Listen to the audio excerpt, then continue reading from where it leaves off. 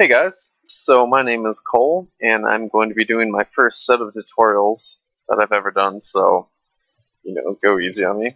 It's um, going to be in C++ using Allegro 5 as our, our graphics library, and we're going to develop the classic game of Pong, so it should be fun, and hopefully we'll learn some stuff, so let's get into it. Um, I'll create another video on how to set up Allegro 5 but for now I'll assume that you know how to. And uh, what I have here is just a, a blank C++ project. And uh, yeah, so let's get into it. So let's start off with our includes. Just include the Allegro header. And uh, I'm just going to throw them all out there for now, just because I like to. Um, but we're going to use the primitives for our drawing. Not going to be using any bitmaps or anything for now, but uh, maybe we'll implement that in the future. Um, we're also going to just use fonts and TTF for um, for fonts as well, so we can bring our own in. Cool. So let's define main.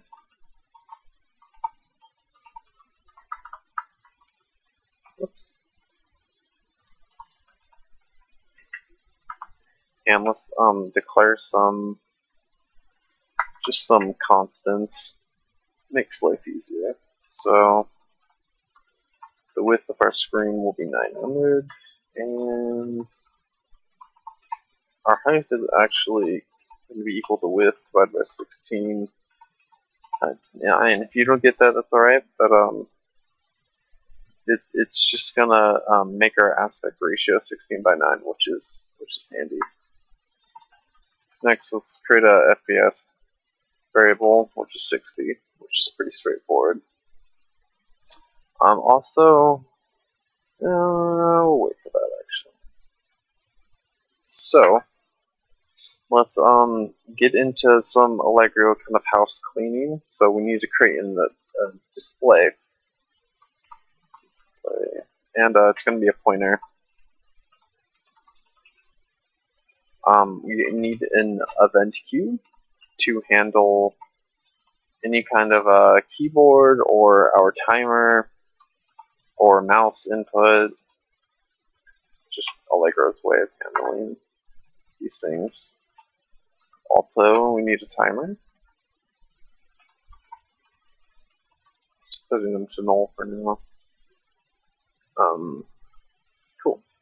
Now let's initialize Allegro and test if it actually passed the initialization. Because if it didn't, then we will return negative one and quit. Because that would be bad. Cool. Um, let's define our display.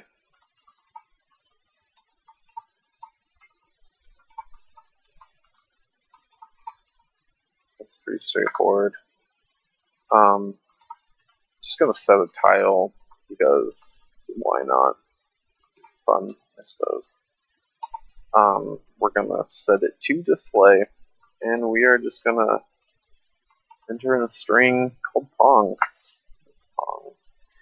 There is a um, a set window position position, and um, it'll set where the window opens on your actual monitor and I'm only going to do it because it opens my other monitor, which is very annoying, especially for recording, so this makes things much better. But uh, you don't need to worry about that line though. Okay, so now we have add-ons to initialize. So, first one's going to be our primitives. Um, we need to install our keyboard.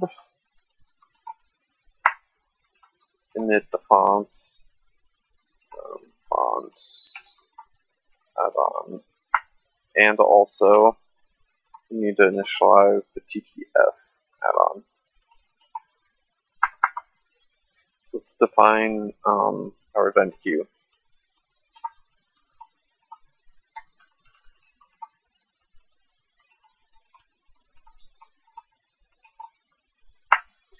And our timer as well.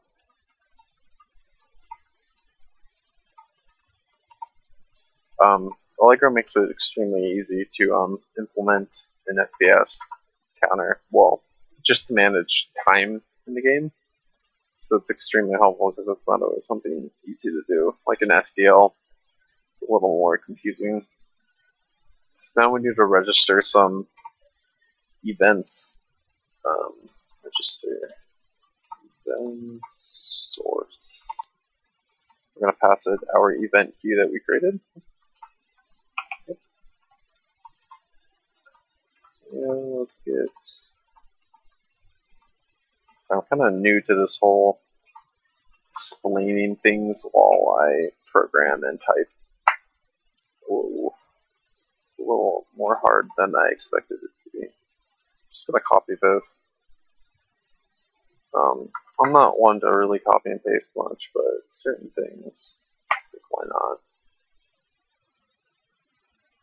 So for this one, we're going to register the timer. Get timer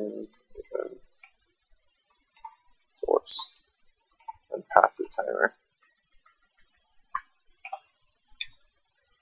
Cool. And the display as well.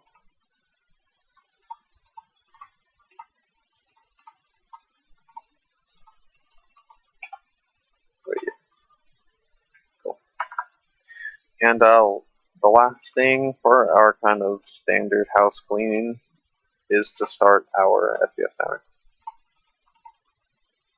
And start the timer. Okay, so now we're going to define or start um, our main loop. And uh, I didn't create running, but uh, I'm going to create our boolean running, which is while we're still running in the game we will continue to do things. And um, at the end of our running loop, we need to flip our display, which has to do with buffering. I might go into detail in that in a future episode, but um, it's not too much you really need to know. And also, um, we need to clear the color, so this is going to flip our, our display, and then uh, clear to us any color you want. And for colors in, in um, Allegro 5, use ALMAP, RP, RGB, and then you know you have your standard, um, your R, your G, and your B, your red, green, blue. So I'm just going to flip it to black, which is 0, 0, 0. And then to avoid any kind of memory leaks, we're going to um, destroy our, our event queue as well as our display. So um,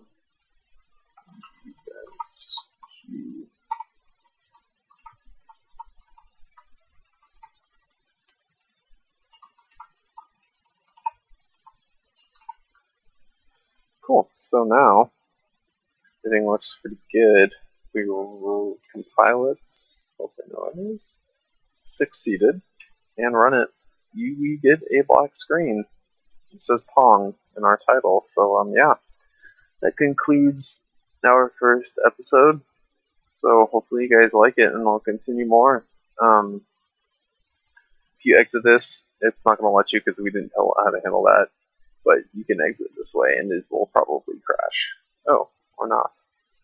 But if it does crash, there should be a red button that you can terminate it with at the top. Uh, Visual Studios Express, and I'm using 2012. So, yeah, thanks guys. Thanks for watching.